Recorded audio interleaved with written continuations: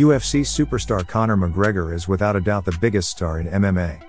Over the course of his UFC career, the Notorious has become the highest paid athlete, became the organization's first two division title holder, and transcended the sport where he made a name for himself.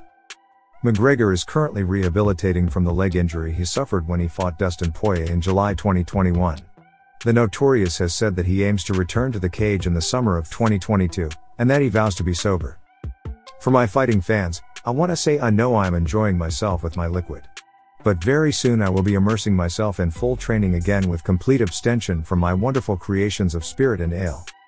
Those who follow McGregor know that the Irishman doesn't say no to a good time. Not long after he posted his sober claim, he uploaded a video that many have linked to him smoking weed instead of being drunk. McGregor has been open with his recreational use of weed and has been seen smoking with the likes of Mike Tyson. Check out some of the times that McGregor has been smoking weed on social media.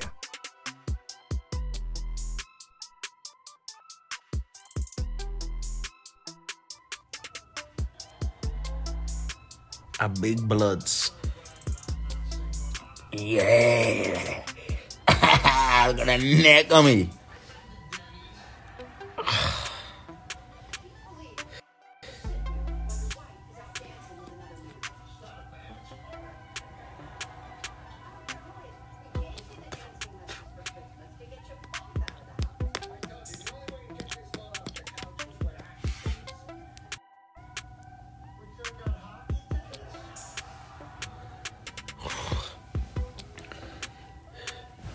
On getting jacked.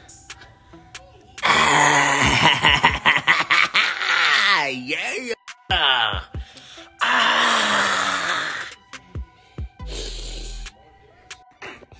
Um. mm-hmm.